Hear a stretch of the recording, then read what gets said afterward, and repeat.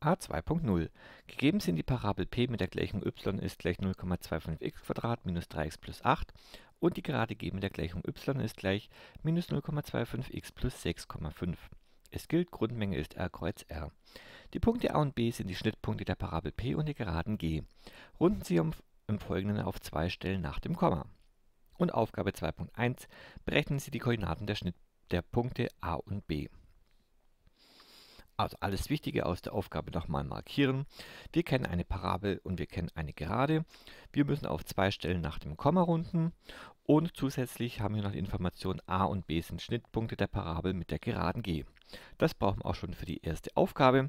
Hier heißt es nämlich, berechnen Sie Koordinaten der Schnittpunkte von a und b, also der Punkte von a und b. Und wie gerade gesagt, das sind die Schnittpunkte, also hier a und b. Und von diesen Punkten wissen wir, die haben die gleichen Funktionswerte. Also gehen wir einfach her, nehmen die Parabelgleichung mit ähm, 0,25x minus 3x plus 8 und setzen dies gleich mit der, Para äh, mit der geraden Gleichung minus 0,25x plus 6,5. Ja, also Schnittpunkt berechnen Funktionswerte sind gleich, das heißt, die Parabelgleichung muss gleich sein wie die Geradengleichung.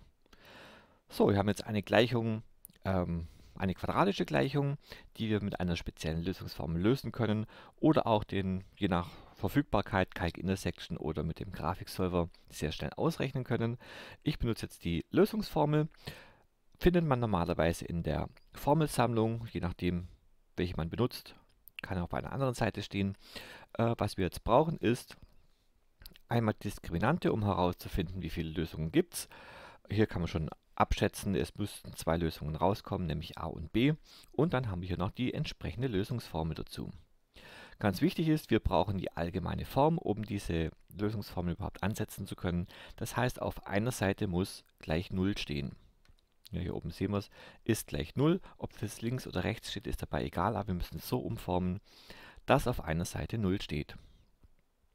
So, ich bringe jetzt alle Zahlen und Variablen auf die linke Seite. Das heißt, ich forme um in plus 0,25x und minus 6,5. Und dann folgt in der nächsten Zeile 0,25x Quadrat Minus 3x äh, plus 0,25x sind minus 2,75x und plus 8 minus 6,5 sind plus 1,5 ist gleich 0. Als nächster Schritt setze ich die Diskriminante an. d ist gleich, und das heißt es hier b minus 4 mal a mal c. Jetzt muss man im Prinzip nur oben aus der allgemeinen Form auslesen, was ist mein b, was ist mein a und was ist mein c. Kann man hier recht schnell äh, im Prinzip verknüpfen. Hier haben wir das b, hier haben wir das a und hier haben wir das c. Also grob gesagt, das a ist immer mein Zahlfaktor vor dem x das b ist immer die Zahl vom x und das c ist immer die Zahl ohne Variable. So, einfach einsetzen, also b das heißt minus äh, 2,75 zum Quadrat minus 4 mal. a ist die 0,25 und c ist die 1,5. So, das tippen wir jetzt in den Taschenrechner ein und dann kommt raus ein Wert von 6,06. Das ist größer als 0, das heißt es gibt zwei Lösungen. So, erster Schritt schon geschafft. Als nächstes die Lösungsformel.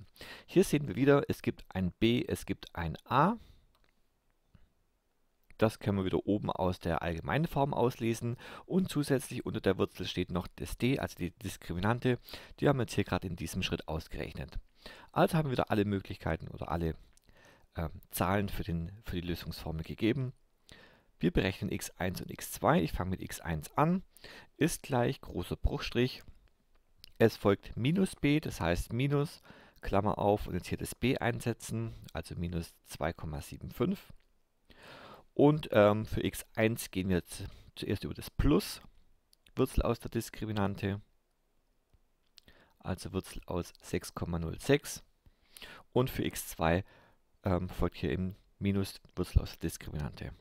Und unten im Nenner haben wir noch stehen 2 mal a, also 2 mal 0,25.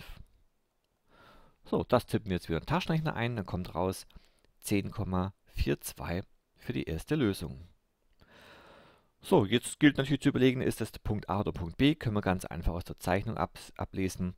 Ähm, Punkt B hier sitzt ungefähr bei 10,42, also wird das äh, die x-Koordinate vom Punkt B sein. Wir brauchen noch die y-Koordinate, weil die Aufgabe heißt, berechnen Sie die Koordinaten der Punkte A und B. Äh, da die Punkte A und B sowohl auf der Parabel als auch auf der Geraden liegen, können wir jetzt entweder die Parabelgleichung nehmen und für jedes x die 10,42 einsetzen oder wir nehmen die Geradengleichung und setzen für x gleich 10,42 ein. Die Geradengleichung ist etwas kürzer, deswegen nehme ich jetzt die. Y1 ist gleich, die Geradengleichung habe ich hier stehen, beziehungsweise steht auch oben eine Aufgabe, kann man auch nochmal nachgucken, minus 0,25 mal so, für das x setze ich jetzt meine erste Lösung ein, also die 10,42. Und hinten dran noch die plus 6,5. Das wieder in den Taschenrechner eingeben und dann kommt ein Wert von 3,90 raus. Also hat unser Punkt B die Koordinaten 10,42 und 3,90. So, Schritt 2, unsere zweite Lösung. x2 ist gleich wieder ein Bruchstrich. Es beginnt wieder mit minus b, also minus, minus 2,75. Und jetzt äh, der zweite Weg, also minus Wurzel aus der Diskriminante, also Wurzel aus 6,06, geteilt durch 2 mal 0,25, also 2 mal a. Das wieder in den Taschenrechner eingeben, erhalten wir die zweite Lösung von ähm, 0,58 So, können wir noch überprüfen. A bei 0,58. Ja, passt eigentlich ganz gut. Also auch hier kein Fehler drin, müsste stimmen. Berechnen wir unser y2 dazu. Auch der Punkt A liegt auf der Geraden, das heißt, ich nehme wieder meine Geradengleichung. Die ist einen Schritt einfacher. Ersetze das x durch meine zweite Lösung, also minus 0,25 mal 0,58 plus 6,5. Gibt es wieder einen Taschenrechner ein und dann kommt ein Wert von 6,36 raus. Und dann ist dann ähm, sind die Koordinaten von Punkt A 0,58 und 6,36.